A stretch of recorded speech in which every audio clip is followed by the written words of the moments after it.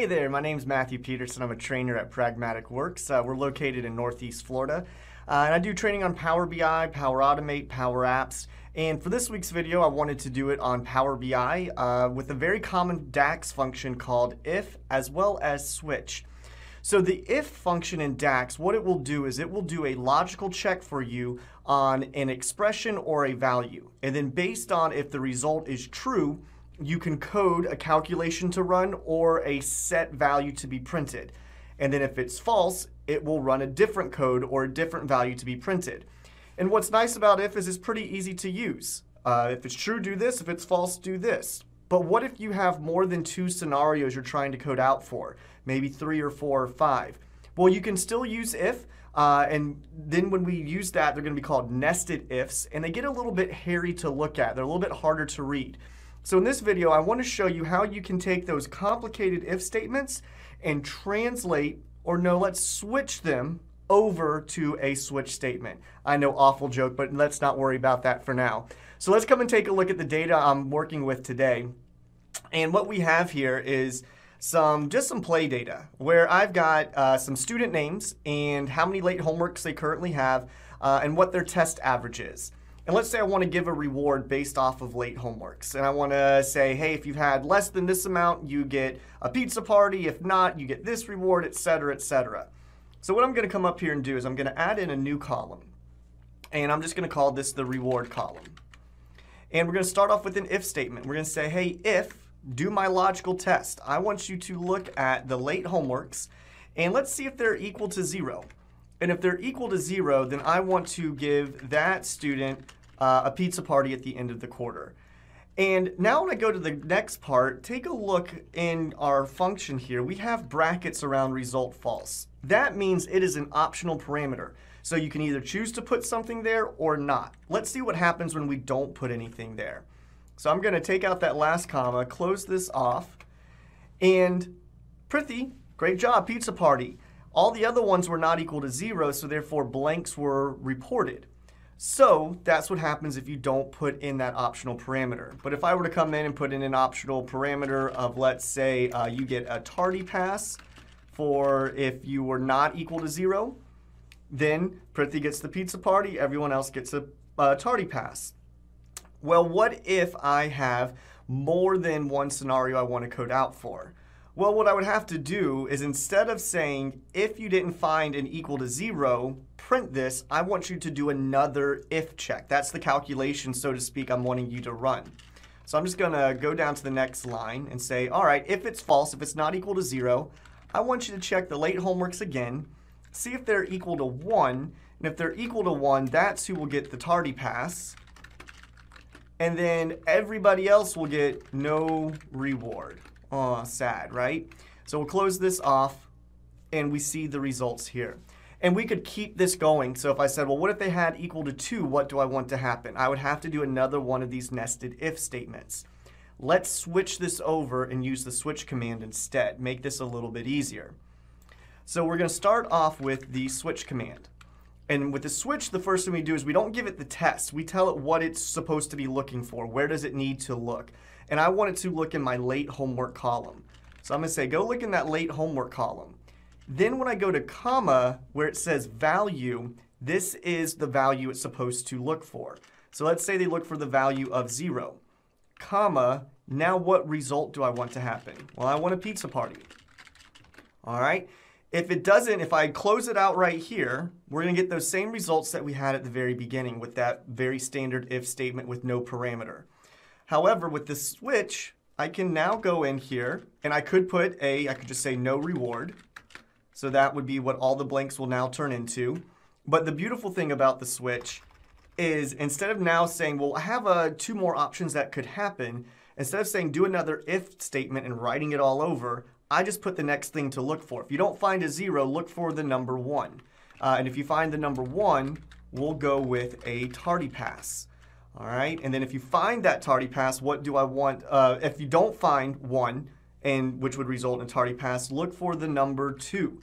And let's say we're going to give them a homework pass. And then, if not, no reward. So as you can see, it's a little bit easier to write and you're not having to keep doing that if statement over and over.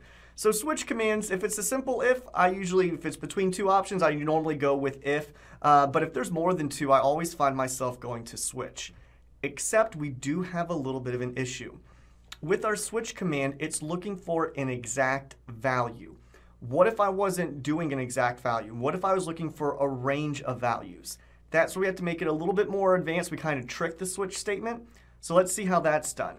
I have another table over here where I have some screen time. And on this screen time, as you can see, uh, I have some, some children's names, missed number of chores for the week, and what they're supposed to get if uh, they don't miss any chores uh, whatsoever. Maybe based on their age, they're allowed 350 minutes or whatever. That's a really a lot for Sloan. Um, but you know, COVID times, we're probably putting our, our kids in front of screens more than what we used to. So I have an if statement that does a lot of checks for me. And instead of me writing it all out, I'm just gonna paste this in just to show you how complicated, not complicated, but how much in depth this could take. So this is going to do a check. The first thing is gonna say, did they miss less than one, meaning zero? Then they get all of their screen time. If it's not less than one, do another if check, see if it's less than or equal to one, and then multiply their screen time by 0.9. And I just keep this going all the way down. And so if I hit enter, you see how many nested ifs are there. We're seeing the results based on those checks. Let's make this easier with the switch statement. So I'm gonna put in a, a new column here. And this time, I'm gonna call this the, the switch, the switch time here.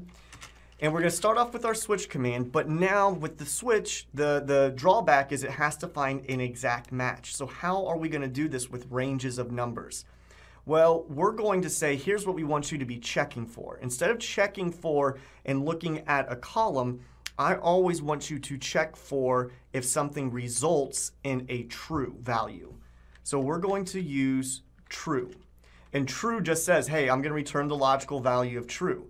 So now all of my values I'm putting in, it's going to see which one evaluates and gives a true. And then when it does, that technically means it kind of found a match, which it did, and it will give us our result.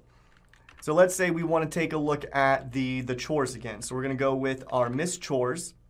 And let's say if the missed chores uh, are less than 1. Less than 1, meaning 0. I could have just done equal here, but we're doing these uh, the less than. So I'm going to go the allotment time. I'm going to give them their full time comma. All right? If you don't find that, what's the next value I'm trying to be looking for a true match on? So I'll just tap this on down. Now I want to go, let's see if the missed chores are less than 2. And if they're less than 2, what value do I want? I want the allotment time to be multiplied by 0.9. And that's the great thing about uh, your if statements and switch statements. You can code out a formula that you want to run. And we'll keep this going. We're going to go, just to complete the whole process, less than 3, we're going to say their allotment time is going to be multiplied by 0.8, comma. Then we're going to go, let's look at those missed chores. If they're less than 4, we're going to take that allotment time and we're going to multiply it by 0.7 just to get the same results that you see on the other uh, column here. Uh, we're going to go back to missed chores. Are they less than 5? And if so, we're going to take their allotment time and multiply it by 0.6. And then one more time, take a look at their missed chores. Oops, forgot my comma up there. Let's go back, comma, shift enter. And that's how I'm getting to these new lines. If you're new to DAX, by hitting shift enter, it moves you to a new line of the code, so it's just a little bit easier to read.